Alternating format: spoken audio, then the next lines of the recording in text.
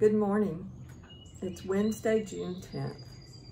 Today we're still sharing thoughts about the word gentleness and today I've decided I'd like to share with you about a person who is significant in my life growing up and even now. Um, when I was a child, our family had a maid, um, a elderly black woman who took care of my brother and me and she would help around our house and she had also served my mother's family when my mother was a child. Her name was Cheney King Cromer. Um, I remember being in a stroller. She pushed me in the stroller a lot and I remember Cheney being a gentle soul and she was just always so kind and she was the first black person I met and knew, and so, um, and I loved her dearly. Um, I remember, I remember when she died, how hard that was. And I remember learning then, I was um, in high school, I remember learning then that she um, was born at home and there was no birth certificate and uh, she didn't know how old she was. So we thought she might be in her late 80s or early 90s, but no one really knew because as a black person, uh, her birth was not recorded. And that struck me at that time. Um, I have many fond memories of Cheney, but mainly that she was a gentle soul. And um, so today I think of her, and in memory of her, I'll read these verses from uh, Philippians chapter 4, beginning with verse 4. Listen now for the word of the Lord. Rejoice in the Lord always. Again, I will say rejoice. Let your gentleness be known to everyone. The Lord is near. Do not worry about anything, but in everything by prayer and supplication with thanksgiving. Let your request be made known to God.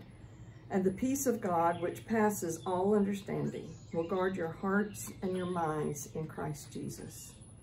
Cheney believed, I'm going to keep preaching, I guess. Cheney believed in God. And so um, when it says, let your gentleness be known to everyone, the Lord is near, when she was near. I was never afraid. Um, I knew God was looking out for me because of her presence with me, and that was so wonderful. She had a great sense of humor, uh, a delightful laugh, and um, I just remember her presence always being one of um, protection and care and love, and she did that with such gentleness and such grace I'm so happy that I knew her. And um, I think now about the struggle and the stories that we need to hear from our black brothers and sisters. And the other night I watched Just Mercy and was really just kind of torn apart about that too.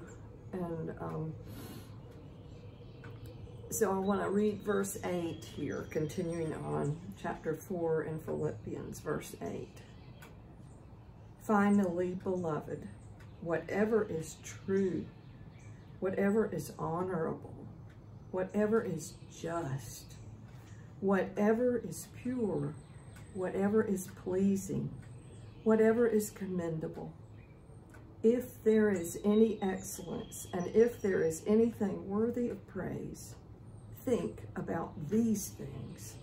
Keep on doing the things that you have learned and received and heard and seen in me, and the God of peace will be with you. I think that final verse, this is the word of the Lord, thanks be to God. I think that final verse um, really is important for us to remember that though we are gentle in spirit and we know the Lord is near, there is still um, a command to do and think on these things. Whatever, oh, the whatever's beautiful. And look at those words. The words are true. And I think so much of what we are seeing and hearing now, we need to get to the truth. Whatever is honorable, we hold life in great honor. Whatever is just. I mean, people have done horrendous acts to other people, they need to be held accountable. So justice needs to occur. Whatever is pure, you know, whatever is good there, whatever is commendable, and doing acts of truth-telling and um, showing honor to the body of Christ or to the body, of the human temple, the human body as a temple of God, any of those things, whatever is pleasing, those things that are pleasing to God, if there is any excellence and if there is anything worthy of praise, think about these things. So I'm encouraged that when we think about gentleness, it also leads us that a life of gentleness is what is needed in order for us to share and listen appropriately to one another's stories. Let us pray.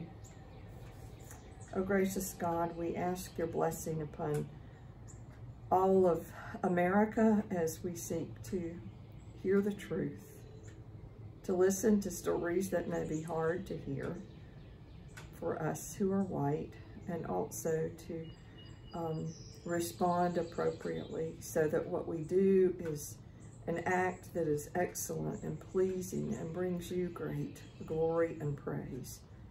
Oh God, be with us and strengthen us. Strengthen us with gentleness so that we might be your faithful people. And we give thanks for witnesses to your love and gentleness like Cheney. In Christ's name we pray.